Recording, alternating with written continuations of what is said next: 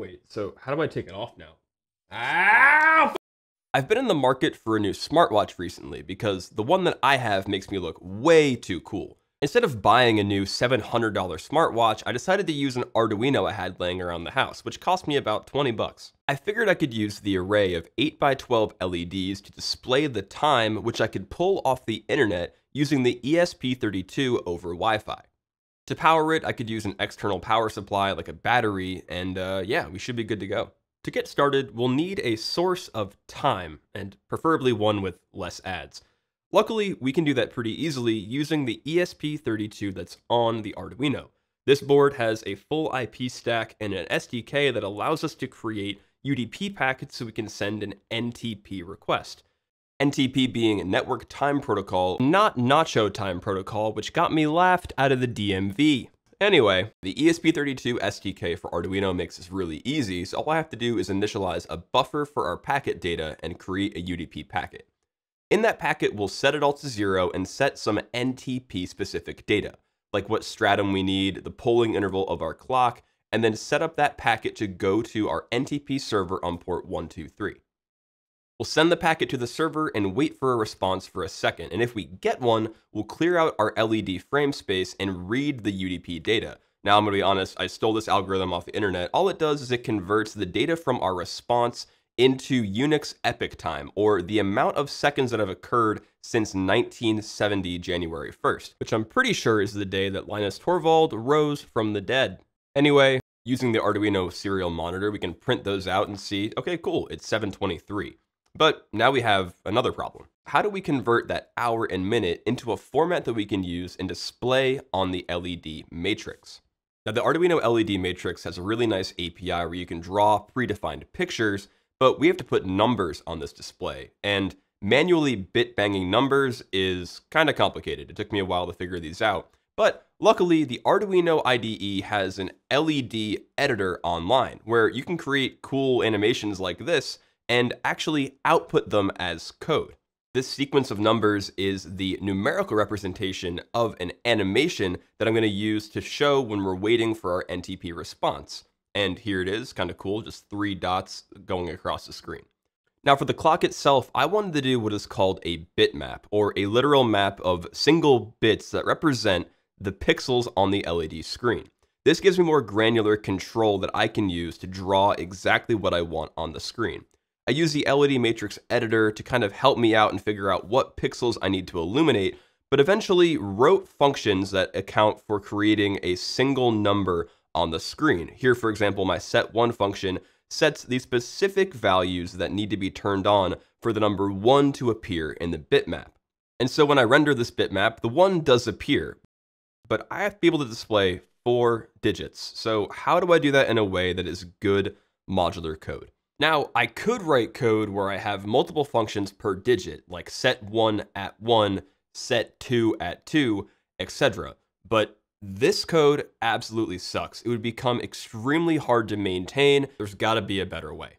Well, by adding a position variable into my function, I can have the x value be offset by 3 to account for the four possible digits on the LED display. By doing this, I can use the same code in positions 0, 1, 2, and 3 to display four ones. Using that same logic, I created 10 functions that are able to display the digits 0 through 9 on the LED display at positions 0 through 3. So now I can display an arbitrary time on the LED matrix. Great, we're making progress. So here we go, 1719, a random time that I chose to prove that I could render arbitrary digits on the matrix. But now comes the hard part, actually writing good code. I have to take the hours and minutes from the NTP server and use that to determine what function to call to display our digits on the LED matrix. Now I could do it this way where I make an infinitely long list of if statements where I say if hour equals zero, do this, else if hour equals one, and but God, I hate this kind of code. So I'm gonna do it a different way.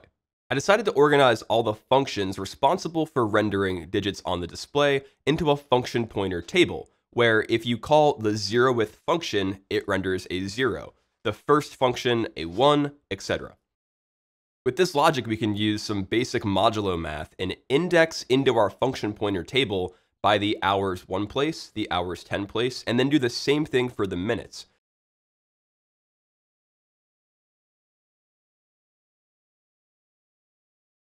We'll render that bitmap to the screen and then wait 10 seconds and do it all over again. Send another NTP packet, render the packet, etc. Now there is a problem that if I leave my house and my Wi-Fi disconnects, this watch will not work, but luckily that won't be a problem. Because I have a good solution? No, I just don't leave my house. At this point, we have a pretty cool watch. We turn it on and it shows us the I'm loading animation and then it renders the time and it'll automatically update every minute on the minute. But this isn't really a smartwatch, this is a watch. So I wanted to add additional features to kind of spruce it up and make it the real smartwatch that I know it could be. So I bought a $20 heart rate monitor off Amazon and wanted to see if I could integrate it into the watch. The monitor is pretty simple. It has three wires, ground, power, and signal. It will output how much light it sees when this green light is bounced off your skin. It uses the color green because obviously that's the opposite of blood and it can figure out how much light gets absorbed by your blood and use that to figure out your heart rate. The end result is when I put this on my wrist, the device outputs an analog value that I can read with the Arduino to get a sense of how fast my heart is beating. Now, because all the sensor is doing is reporting the amount of light that it sees, I have to implement a little bit of logic to actually convert that to beats per minute. So we start out by measuring the time currently on the device before we measure 500 cycles. For every cycle, we measure the current amount that the sensor sees, and if it goes over some threshold and we haven't seen a beat yet, we consider that one beat and then say that a beat has been seen. And then if it goes below that threshold and we have seen a beat, we turn that trigger off. Basically, this allows us to see the top and bottom of a heartbeat graph. From there, we measure how much time has passed and how many beats that we've seen over the course of that duration and convert that to a beats per minute value. From there, we convert our float beats per minute to an int beats per minute and then render it on the device just like we did with the clock. We'll do this every five seconds while the NTP packet comes back from the server.